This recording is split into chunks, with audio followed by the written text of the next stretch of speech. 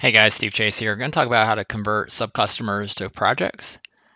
All right, so the first thing is imagine you know about projects already. If you don't, uh, projects allow you to generate a, a profit and loss per allocated project, okay? So let's imagine though that you've got um, a non-project you want to bring in here. So for example, I'm going to go to reports, custom report, and just show you a quick uh, report here called profit and loss by customer. All right, so if I open up this invoice here, we can see we've got an invoice for $7,000 and it's to the customer seven lucky stars, okay? And um, the other thing we've got going on here is we've got a couple of transactions here so we've got this um, purchase here of expenses, and notice that we've got this end user licenses right here, but the key is it has this customer project, okay? So we've got seven lucky stars here as the customer. So the way this is going to work, and we have to do a little manipulation of this particular customer here called seven lucky stars we need to make it a sub customer, okay? So we're gonna need to get a little crafty here with, with the actual uh, conversion to make this a project, how to do that, okay? So um, the first thing we're gonna do is we're gonna think of a name. So um, seven lucky stars, maybe seven lucky stars LLC might be might be the name here. So let me just create a quick paint uh, paint here and just kind of kind of talk about here. So this is our main customer here.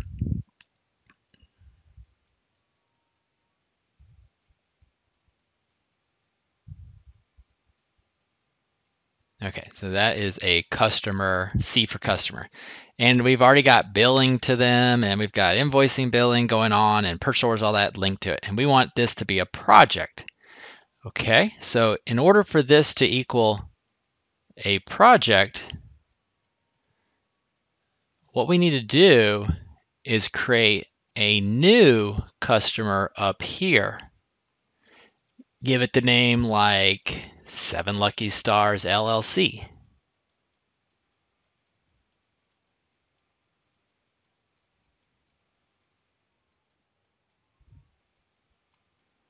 The point is, you can come up with whatever name you want, and we're going to make this underneath of it come from here. So, so basically, now we're going to have an opportunity to leave everything exactly the same except create a Seven Lucky Stars LLC, which will serve as the parent customer. And then this will now be considered the sub customer of that. All right, let's let's look at this in action step by step. Okay, so step one, I'm gonna go to my customer list and I'm going to create a new customer. And the company name will just call it seven Lucky Stars LLC. All right. And the whole point of that is just to have a placeholder. Okay. So we're going to hit save. All right. So now I can see here's my seven lucky stars. Here's this. Okay. I'm going to open up seven lucky stars. Here I can start to see all my invoices. I don't see expenses or you know bills or POs to that, and that's typical because this is these are customers.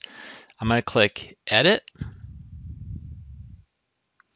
and then I'm going to come down and I'm going to look at this button right here. It says Is Sub Customer. So I definitely need to make that a check mark, and when we do, we can make the parent customer Seven Lucky Stars LLC and bill with parent is important that we do that. Okay, so hit save.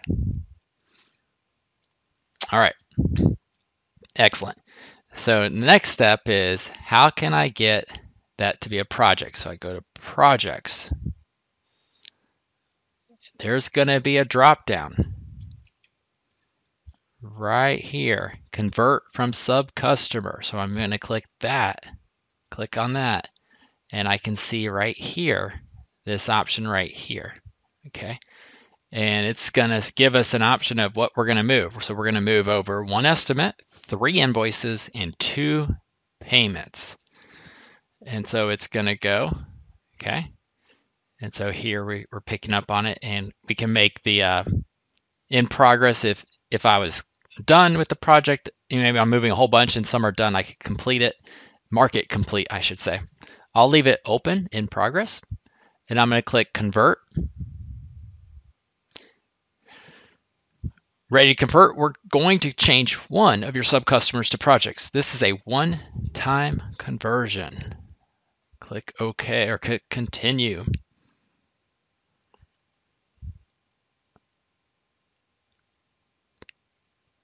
Let it do its magic here.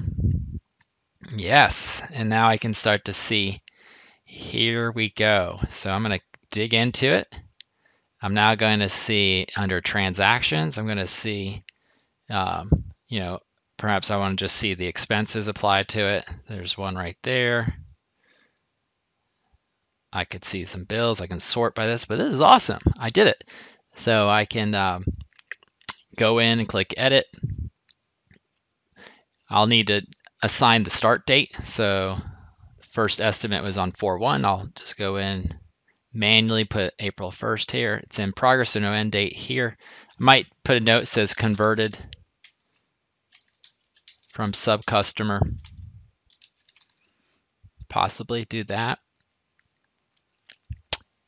Um, I can do that. Time activity, project reports, project profitability, and here we are. And then don't forget cash and accrual methods are going to come in from the accounting software model there. Awesome. So, hey guys, I hope this was super helpful to you. And you now know how to convert uh, customers to projects. Got to use the sub customer trick to do that. Thank you guys for watching. See you on the next video.